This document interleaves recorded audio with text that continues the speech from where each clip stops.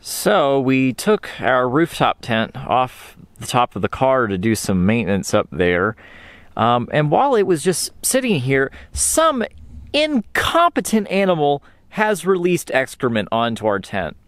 It was a turkey. It was a turkey, yeah. Also, the last time we went out on a little day trip, we probably took out, oh, at least a million gnats with the front of the Sequoia. So we have many things to wash. Alrighty, top five overlanding vehicles for about $5,000. Um, this is kind of a new uh, series that I intend to uh, undertake in the next couple of weeks. I think I might uh, make some other vehicle recommendations at some other different uh, price points. Uh, so, but this this time we're going to be talking about five vehicles for about 5K, and I should probably talk uh, about some of the specifics of how I chose this list. Basically, I picked out five vehicles that I thought were pretty well suited for overlanding in the United States. So things such as reliability, uh, you know, storage, cargo space, um, availability, um, and of course the price. All these things kind of came into play. And I should also mention that um, this is really just kind of the this is really just based on the thought process that I have about certain vehicles. Um, not all of these vehicles I've had personal experience with. Some I have. Um, of course, I, I have worked at a tire shop for a couple years, so so I, I've been able to form some opinions based on some of that experience. But I have not owned and taken all of these vehicles overlanding, so it's hard for me to say that this is a definitive guide. And I'll also add to that. Um, if you watch this video and you're outraged and you're angered that you know whatever vehicle that you like didn't get mentioned, well, there's probably some significant merit to your choice of that vehicle too. So comment below because I'm sure we'd all love to know about it and uh, why you think it's a good choice. Um, so anyway, uh, let's get into it. I should probably mention that this list isn't in any particular order. Um, it's you know based on what I think is the best. These are just five vehicles in whatever order you want to put them in. Um, so anyway, the, the first one I'm going to start with is, is pretty obvious, and you might think I'm, I'm biased or whatever, but um, the first vehicle on my list is uh, the first gen Toyota Sequoia. Um, of course, it's the vehicle that we've owned for the last uh, six or seven months, and we've put over 15,000 miles on it since we bought it. So we put a lot of miles on it in uh, a short amount of time. Um, but since it's a vehicle I own, and some people might think I'm biased for choosing it, I'm also going to uh, say that this this is I'm recommending the first gen Sequoia slash the fourth gen Toyota 4Runner, um, and I I've I've been able to find uh, a fair number of examples of these listed online for around five thousand um, dollars. I will say that the 4Runners um, specifically are a little more challenging to find at that price point. Uh, but they, they, these vehicles really have a lot going for them, starting with the 4.7 liter V8 um, of course, I know the 4Runners also had a 4 liter uh, V6 as an option too, which is also a great engine. I find that those are actually a little more challenging to find um, at the price point we're talking about today. Um, but we, we cross shopped both of these vehicles for a long time. Great engine, uh, great transmission. Um, no, no vehicle is bulletproof, but um, these both of these vehicles are probably about as close to bulletproof as any um, any SUV in the United States sold in the U- United States, you know, that you can possibly get, other than maybe a Land Cruiser. These these are definitely the, the most reliable SUVs of their of their age, um, and they're great. Um, very capable off road. Uh, they the 4Runner has a really really good aftermarket support. Uh, the Sequoia has a decent support. Um, and that support is actually growing. There's a lot of a lot of companies are starting to do more stuff for the Sequoia, which is which is really cool to see. So anyway, that's that's my number one pick.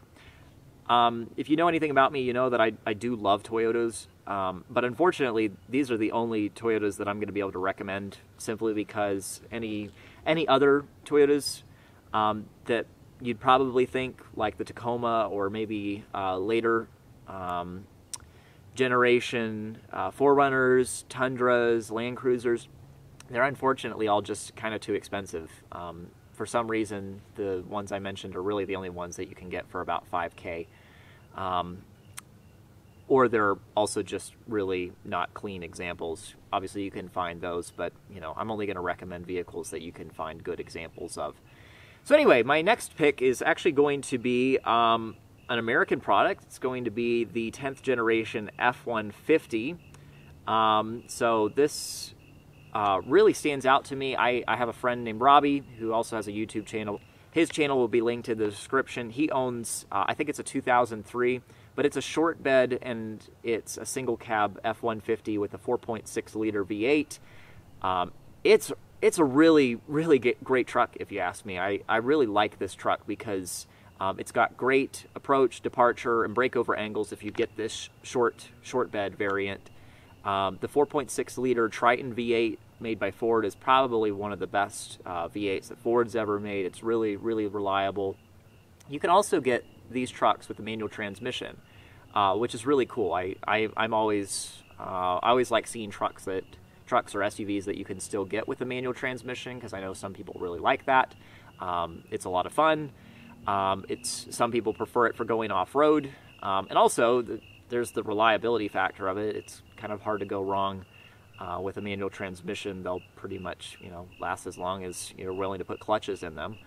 Um, so anyway, I, I really like these trucks. Um, I think if you're if you're looking for uh, a good simple truck that you can you can find readily available anywhere, um, good you know good power, um, ability to to modify it is definitely there. Um, I think it'd be really fun to put uh, like a bed rack over one and have a rooftop tent on it. I, I think I think they'd make a, a great platform for, for an inexpensive overland build. So anyway, that's that's my that's my second pick. All right, and now my third pick is actually another American product. It's going to be the uh, ninth generation Chevy Suburban.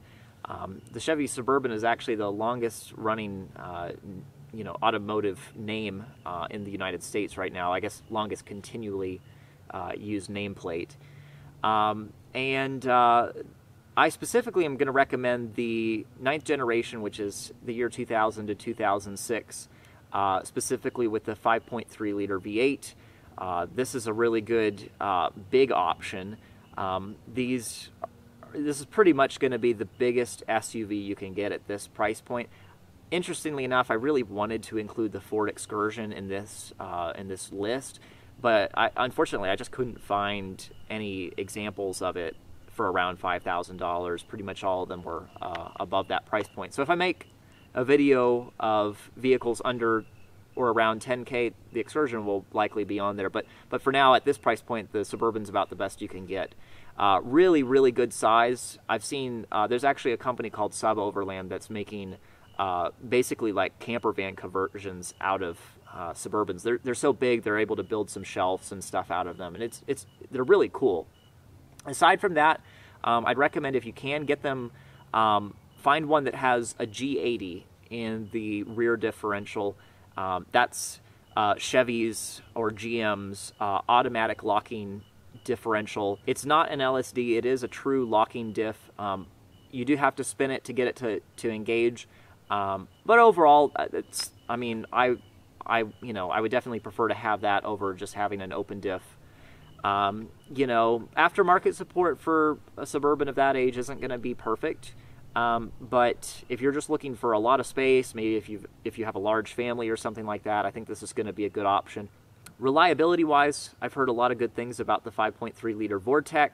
Um, I had a similar uh, Vortec engine in my in my Blazer, and it was very reliable. I've known a lot of people that own Tahoes and Suburbans of this age, and they've all all said pretty good things about them. I think maybe the only issue you might run into, um, significant issue, might be a transmission. Um, but seeing as how popular and how widespread these these vehicles are, I feel like you, if you if you had to, finding a salvage transmission for one probably wouldn't be that expensive. Um, so anyway, and and I also found tons of those for for uh, 5K or less, and a lot of them were in, in really good shape. All right, I felt like it was necessary for uh, my fourth pick to to mention a um, another pickup truck. This this time specifically a midsize. I really do wish I could recommend a Tacoma. If you can find a Tacoma that's less than 20 years old, doesn't have you know 300,000 miles on it, has four wheel drive in good shape. If you can find one of those for 5K or less, you better go buy it immediately because um, an opportunity like that is nearly impossible to find. For some reason, the resale value on those things are ridiculous. Um, so anyway, the, the next best thing I think I can recommend at that price point is going to be the Nissan Frontier. Um, these are kind of uh, a mixed bag in terms of people's opinions of them. Uh, I've heard a lot of terrible things about their uh, transmission. Um, overall, I think the, the engine options that came in those were, were pretty good.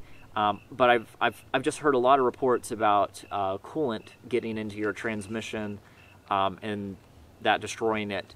Uh, but other than that, they're pretty simple trucks. They're probably very easy to work on. Um, and the, the, the, thing that I like about them is that, yeah, they can be had for a decent price. Um, but really and truly, the aftermarket support for those is actually really good. Um, I don't know why it is. Maybe, I think maybe it's because those are offered overseas. But yeah, they, they seem like they're pretty honest, simple little trucks. You can get those with a manual transmission too. That's probably, I, I probably wouldn't get anything but the manual transmission for those, seeing how, uh, how many issues I've heard about with with the automatics and those things. It's really hard to go wrong with these trucks just simply because of the price point that you can get them at. For a mid-sized truck, uh, that's it's pretty much the best you can do. Um, I I probably wouldn't go for um, I, I wouldn't go for an old Colorado or something like that. I think those are going to be plagued with with issues. Some of those I think had a five cylinder, so I'd stay clear of anything like like that. Um, maybe the the only other truck at that in that size that might be a good option would be a Ranger, but um, those um, seem to be hard to find. Uh, they're hard to find clean examples of those. So anyway, mid-sized truck, I'm going to recommend the Frontier. All right, and then my my last pick, and I, I picked this one really because uh, I think value for money. This is definitely one of the best options on the list. That's uh, actually going to be a Jeep Grand Cherokee, specifically from the time period of 1999 to 2004. Um, my my friend Nolan, he's got a YouTube channel. I'll link his his channel in the description. He owned one of these for a couple years, um, and it was it was a, a great SUV. Um, very very capable. It had really good approach, departure, breakover angles, good aftermarket support. It's a Jeep. Even even the Grand Cherokees get you know good support aftermarket wise. Um, I'm gonna recommend if you do pick up one of these, definitely look for one that has the four liter uh, V6. And if you know your Jeeps, you're going to look at me and say, "Oh, if you're recommending the Grand Cherokee with that engine, why wouldn't you recommend the the the, the normal Cherokee?" Because um, that's that same uh, straight six um, was offered in the Cherokee as well. The uh, the Cherokee is also a great a great option too those unfortunately they're just hard to find clean examples too those are kind of like uh, third gen 4Runners uh, those are a great option and yeah you can definitely probably find one for about 5k or less um, but finding one that's clean at that price is going to be is going to be kind of a challenge so i'm I, I found a decent number of grand cherokees at that price point with that engine um, reliability wise um, they're definitely not going to be anywhere near as as good as a Toyota. Probably not as good as you know uh, like that F-150 I mentioned earlier. Um, you could run into a transmission problem with that. I, I wouldn't be surprised. Uh, but once again, I think picking up a salvage you know transmission unit for one of those probably wouldn't be too bad. These Grand Cherokees have really good storage space. They're also really comfortable. They they seem to uh, sell these at a, a, higher price point than a lot of other comparable midsize SUVs at the time. Uh, my my friend Nolan's Grand Cherokee, it was so much nicer than my my Blazer was in terms of you know the the interior and and stuff like that. It, it was a really smooth riding car uh, for its age. So anyway, that that pretty much wraps it up for my list of top five overland vehicles for 5K or less. Um, there, like I mentioned earlier, there's plenty of other good options out there too. This is just the list that sticks out to me. I think if I if I had 5K and I was going to start a vehicle build, I'd pick one of these. Um, of course, to do it again, I'd go back and buy another Sequoia because we we have loved our Sequoia.